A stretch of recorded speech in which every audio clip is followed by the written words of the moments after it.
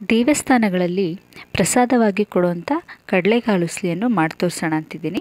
ವೀಕ್ಷಕರಿಗೆಲ್ಲ ನಮಸ್ಕಾರ. S T J K home ರೆಸಿಪೀಸ್ಗೆ ಸ್ವಾಗತ. ನಾನು ಶ್ವೇತಾ ಮೂರ್ತಿ. ಪ್ರಸಾದವಾಗಿ ಕೊಡುವಂಥ ಕಡಲೆಕಾಳು ಉಸ್ಲಿಯನ್ನು ಮಾಡೋದಕ್ಕೆ ಬೇಕಾಗಿರುವಂಥ ಸಾಮಗ್ರಿಗಳನ್ನು ನೋಡ್ಕೊಳ್ಳೋಣ. ಅದಕ್ಕೂ ಮುಂಚೆ ನೀವು ನಮ್ಮ ಚಾನಲ್ಗೆ ಸಬ್ಸ್ಕ್ರೈಬ್ ಆಗಿಲ್ಲ ಅಂದರೆ ದಯವಿಟ್ಟು ಈಗಲೇ ಸಬ್ಸ್ಕ್ರೈಬ್ ಆಗಿ. ಈಗ ಸಾಮಗ್ರಿಗಳನ್ನು ನೋಡ್ಕೊಳ್ಳೋಣ. ಹಾಗೆ ಮಾಡೋ ವಿಧಾನ ಕೂಡ ನೋಡ್ಕೊಳ್ಳೋಣ. ಇನ್ನೂರೈವತ್ತು ಗ್ರಾಮ್ ಕಡಲೆಕಾಳನ್ನು ರಾತ್ರಿ ಇಡೀ ನೆನೆಸಿದ್ದೀನಿ. ಅದು ಡಬಲ್ ಆಗಿದೆ. ಮತ್ತು ನಾಲ್ಕರಿಂದ ಐದು ಟೇಬಲ್ ಸ್ಪೂನ್ ಆಗುವಷ್ಟು ಎಣ್ಣೆ, ಅರ್ಧ ಸ್ಪೂನ್ ಸಾಸಿವೆ, ಹತ್ತರಿಂದ ಹದಿನೈದು ಕರಿಬೇವು, ಎರಡರಿಂದ ಮೂರು ಹಸಿಮೆಣಸಿನಕಾಯಿ, ಮುಕ್ಕಾಲು ಕಪ್ಪಷ್ಟು ತೆಂಗಿನ ತುರಿಯನ್ನು ತೊಗೊಂಡಿದ್ದೀನಿ.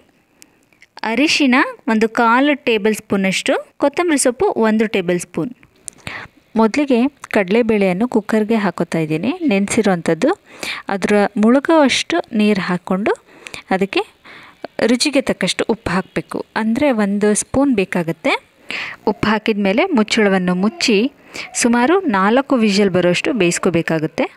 ಈಗ ಸ್ಟವ್ ಮೇಲಿಟ್ಟು ನಾಲ್ಕು ವಿಷಲ್ ಬರೋ ತನಕ ಬೇಯಿಸ್ಕೊಂಡಾಗಿದೆ. ನೋಡ್ಬೋದು. ಈಗ ಪ್ರೆಷರ್ ಕೂಡ ಹೋಗಿದೆ. ಈಗ ಓಪನ್ ಮಾಡ್ತಾಯಿದ್ದೀನಿ ಕುಕ್ಕರ್ ಮುಚ್ಚಳನ. ನೋಡಿ ಬೆಂದಿದೆ, ಚೆನ್ನಾಗಿ ಬೆಂದಿದೆ. ಕಡಲೆಕಾಳನ್ನು ನೀರಿಂದ ಸಪ್ರೇಟ್ ಮಾಡಬೇಕು.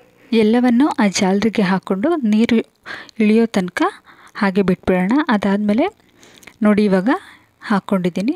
ಕಂಪ್ಲೀಟಾಗಿ ರೆಡಿ ಇದೆ ಇದು ಕಾಳು. ಇದನ್ನು ಒಂದು ಸೈಡಲ್ಲಿ ಇಡೋಣ.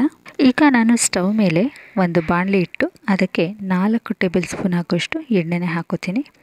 ಎಣ್ಣೆ ಬಿಸಿ ಆದ ನಂತರ ಸಾಸಿವೆನ ಹಾಕಿ ಸಿಡಿಸ್ಬೇಕು.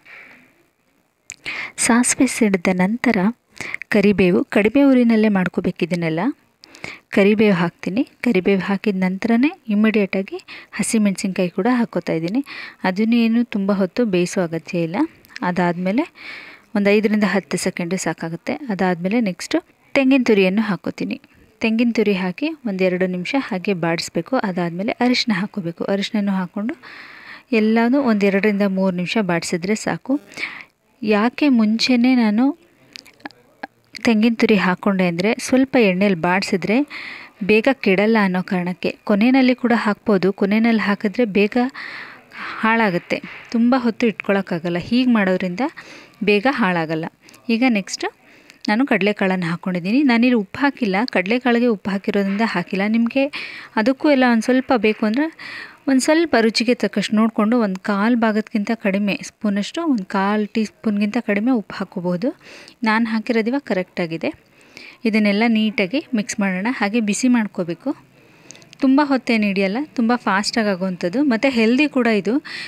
ಸ್ಕಿನ್ ಚೆನ್ನಾಗಾಗೋದಕ್ಕೆ ಇದನ್ನು ತ, ಸೇವಿಸಬೇಕಾಗುತ್ತೆ. ಮತ್ತು ಹೈ ಪ್ರೋಟೀನ್ ಇರೋದರಿಂದ ಕೂದಲು ಬೆಳವಣಿಗೆ ಕೂಡ ಚೆನ್ನಾಗಾಗುತ್ತೆ. ದೇವಸ್ಥಾನದಲ್ಲಿ ಮಾಡುವಂಥ ಪ್ರಸಾದದ ಶೈಲಿ ಆಗಿರೋದ್ರಿಂದ ನಾನು ಇದಕ್ಕೆ ಈರುಳ್ಳಿ ಹಾಕಿಲ್ಲ.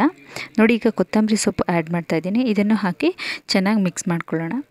ಇವ ಮನೆಯಲ್ಲೇ ಏನಾದರೂ ಮಾಡ್ಕೊಳ್ಳೋದಾದರೆ ಈರುಳ್ಳಿ ಕೂಡ ಹಾಕೋಬೋದು. ಅದು ಕೂಡ ಟೇಸ್ಟನ್ನ ಇನ್ನೂ ಚೆನ್ನಾಗಿ ಮಾಡುತ್ತೆ. ಸಿಂಪಲ್ ಆಗಿರೋವಂಥ ಕಡಲೆಕಾಳು ಉಸ್ಲಿ ಇವಾಗ ರೆಡಿಯಾಗಿದೆ. ಇದನ್ನು ಸರ್ವಿಂಗ್ ಬೌಲ್ಗೆ ಹಾಕ್ಕೊಳ್ಳೋಣ ಈ ಸಿಂಪಲ್ ಆಗಿರುವಂಥ ಕಡಲೆಕಾಳು ಉಸ್ಲಿ ನಿಮಗೆ ಇಷ್ಟ ಆಗಿದ್ದರೆ ದಯವಿಟ್ಟು ಒಂದು ಲೈಕ್ ಕೊಡಿ. ವಿಡಿಯೋವನ್ನು ಶೇರ್ ಮಾಡಿ. ನಿಮ್ಮ ಅನಿಸಿಕೆ, ಅಭಿಪ್ರಾಯ ಏನೇ ಇದ್ದರೂ ಕಮೆಂಟ್ ಮಾಡಿ ಅಂತ ಕೇಳ್ಕೊತೀನಿ. ಮುಂದಿನ ವಿಡಿಯೋದಲ್ಲಿ ಸಿಗ್ತೀನಿ. ನಮಸ್ಕಾರ.